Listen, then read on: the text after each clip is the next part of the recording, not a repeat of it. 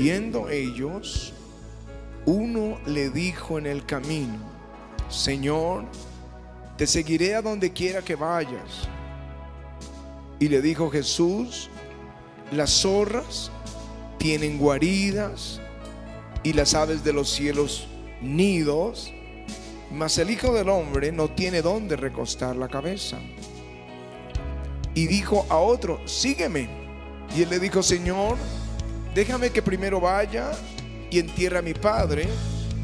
Jesús le dijo, deja que los muertos entierren a sus muertos y tú ve y anuncia el reino de Dios.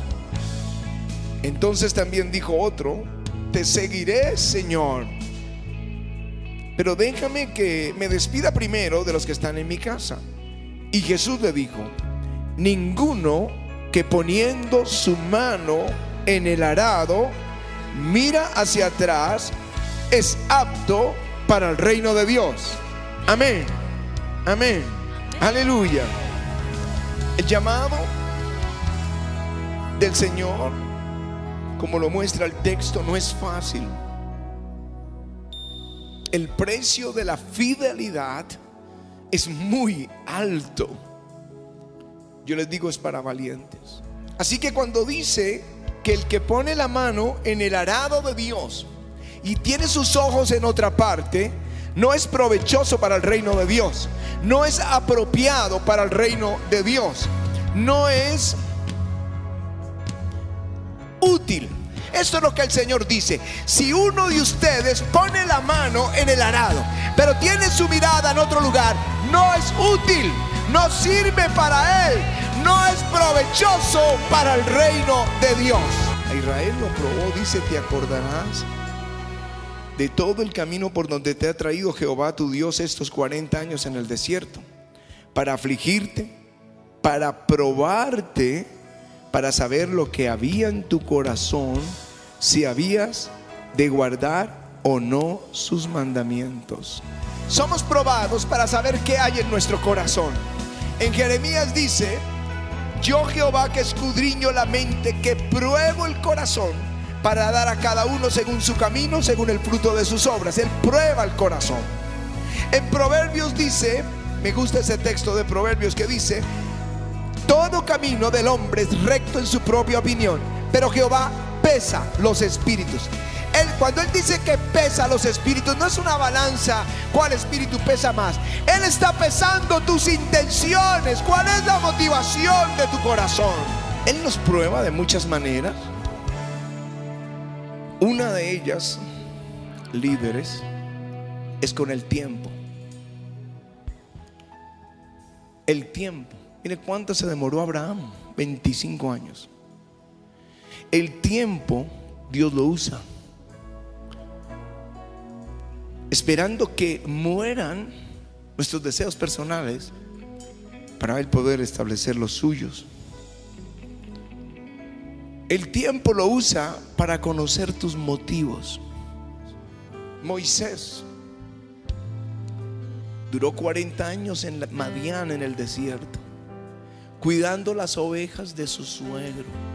Después de que a los primeros 40 se crió como un general del ejército egipcio, era el posible heredero de ese reino, el hijo de la hija de Faraón.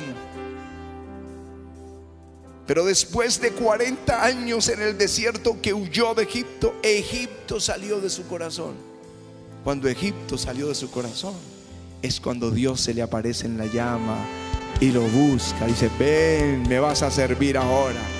Ahora hay un motivo puro. Ahora Egipto ya no está en tu corazón. Ahora puedo hacer una obra poderosa en tu vida. Aleluya.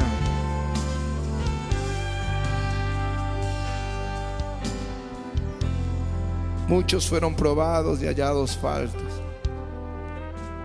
El mismo apóstol Pablo dice al final, solo está Lucas conmigo. Los demás, Demas y otros se fueron para el mundo, otros buscando lo suyo. El tiempo, el tiempo Dios lo usa. hay un momento en que ya no aguantas y salen tus motivos. Moisés subió al monte a recibir la palabra y se demoró mucho, 40 días recibiendo los mandamientos. Entonces el pueblo dijo, no, este Moisés se murió. Y empezaron a decir, bueno, hagamos, hagamos dioses que nos guíen. E hicieron dos becerros de oro. Hicieron fiesta y los estaban adorando. Ya no es el Espíritu el que los guía. Y estando en esto, Moisés desciende y estaba tan enojado que Moisés dice así. Dice, el viendo Moisés que el pueblo estaba desenfrenado, porque Aarón le había permitido, para vergüenza entre sus enemigos, se puso Moisés a la puerta del campamento y dijo, ¿quién está por Jehová? Júntese conmigo. Y se juntaron con él los hijos de Leví. Y así ha dicho el Señor, poned cada uno su espada sobre su muslo. Pasad y volved por la puerta del campamento y matad cada uno a su hermano y a su amigo y a su pariente.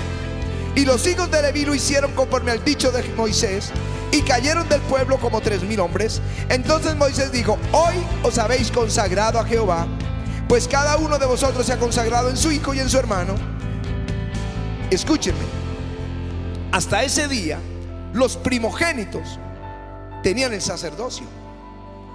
Eran los que el Señor dijo, son míos. Pero ese día Él probó a los levitas.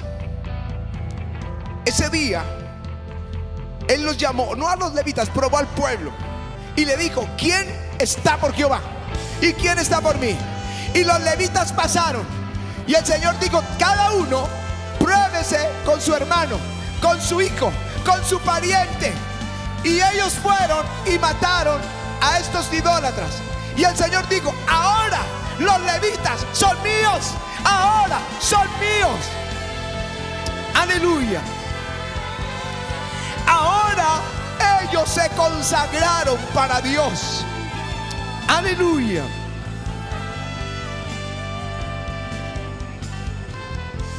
Mi pregunta hoy es, ¿quién está por Jehová?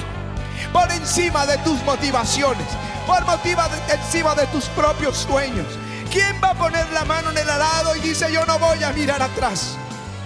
Los que están por Jehová, que tomen su espada que la palabra de Dios, que tome su espada y se lo diga a Jesús hasta el final.